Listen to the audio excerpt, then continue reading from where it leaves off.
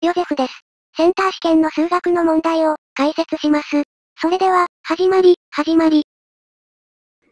はい。センター試験の数学 1A の問題について解説しています。今回は2014年度の第1問括弧にですね、えー、集合 U をで、U イコール N として、その N は5小なりルート N 小なり6を満たす自然数として定めます。また、集合 U の部分集合 PQRS を次のように定める。で、集合 P は、まあ、N として表すんですが、その N は元の集合 U の要素であり、かつ N は4の倍数。Q も同じく集合 U の要素である、かつ N は5の倍数。R も、えー、集合 U の要素であり、かつ N は6の倍数。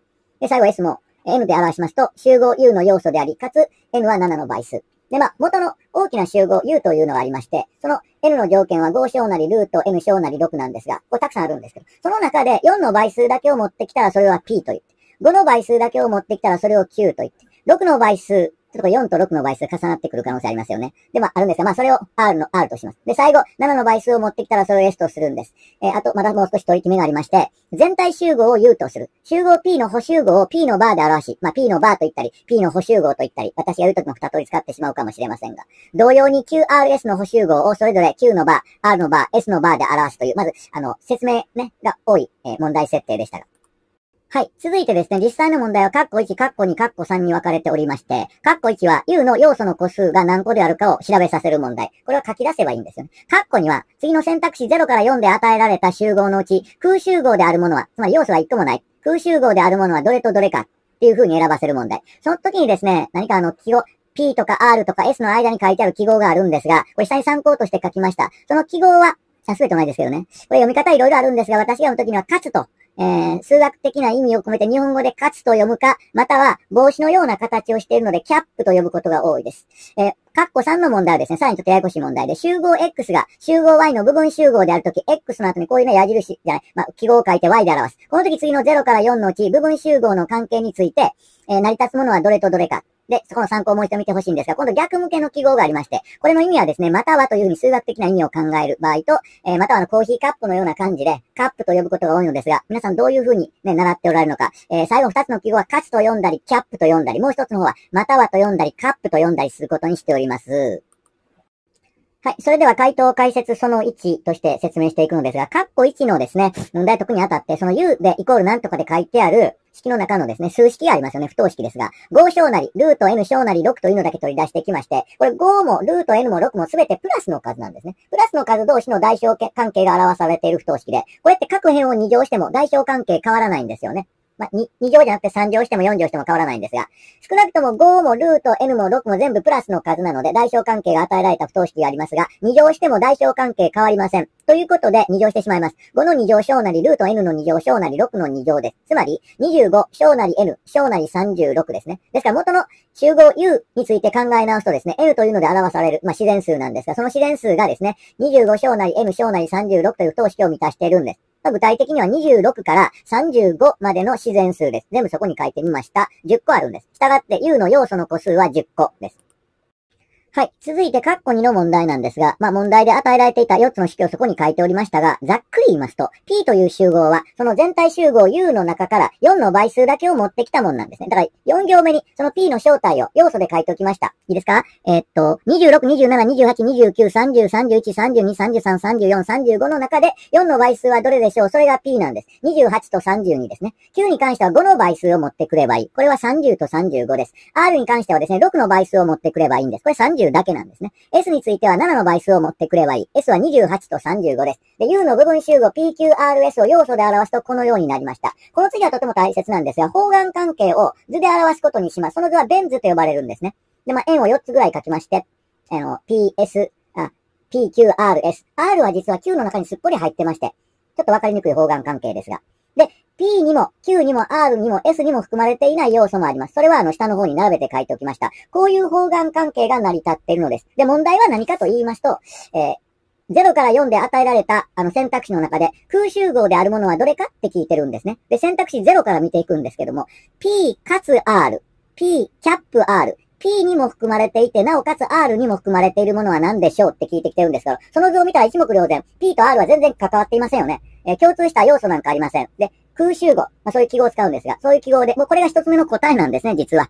で、丸1についてはですね、あ、丸1の選択肢1なんですが、P かつ S。P の中にも入っていて、S の中にも入っている。上の図を見れば一目瞭然。要素で言うと28ですね。28という要素が含まれているから空集合ではありません。これ答えじゃない。次、え選択肢に Q、キャップ R、Q かつ R。Q にも含まれていて R にも含まれている。それはあの30ですよね。まあ、Q の中に R が入っているからちょっと違和感ある人いるかもしれませんけれども、Q にも含まれていて、かつ R にも含まれているのは30。で、30という要素がありますから空集合ではありません。ということで、0、1、2を3つ調べたら、とりあえず0の選択肢が答えの1つなんです。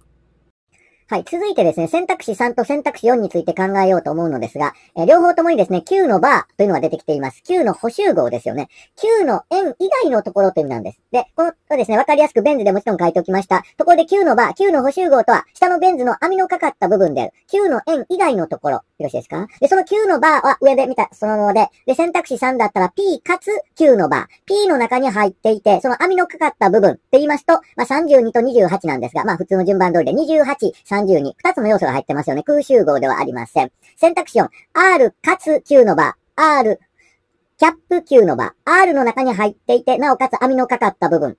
で、何にもない。そんなないんですよね。R のところに全然網かかってませんので、で、要素は1個もありません。0個です。それ空集合なので、4が正解なんです。一応まとめて、従って空集合であるものは選択肢0と選択肢4の2個ということが分かりました。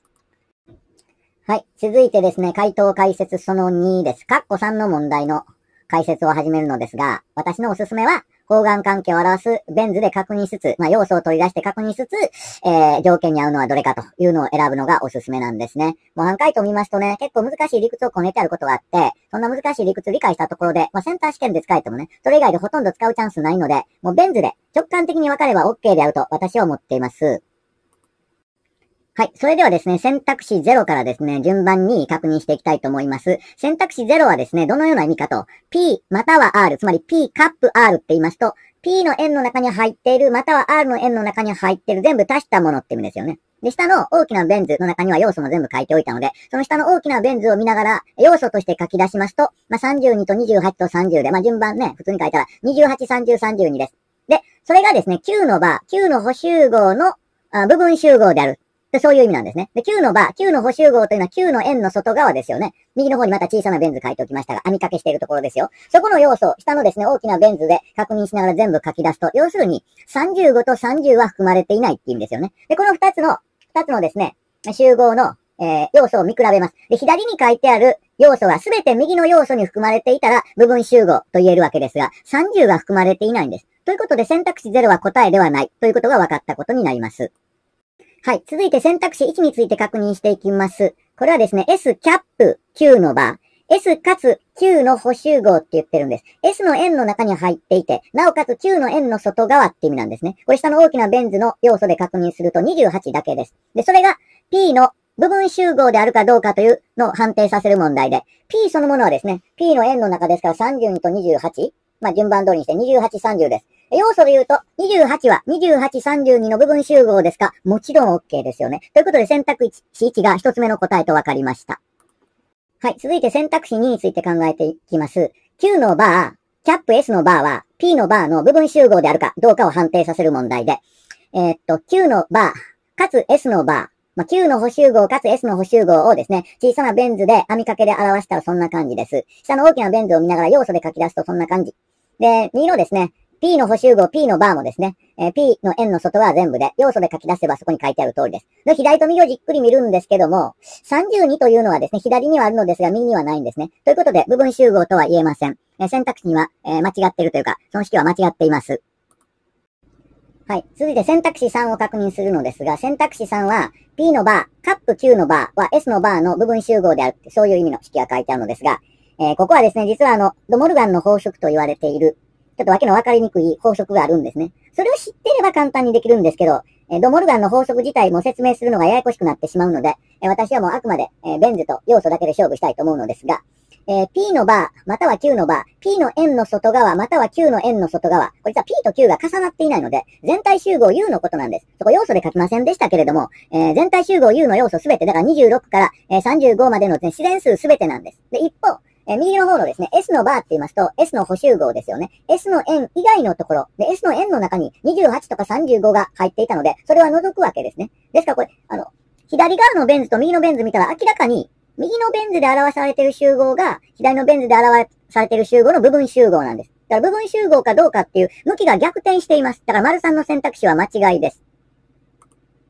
はい。最後に選択肢4について考えておきます。R のバー、キャップ S のバー。つまり R の補集合、かつ S の補集合。R の円の外側にあって、かつ S の円の外側にある。で、そこの小さなベン図の網をかけた部分なんですね。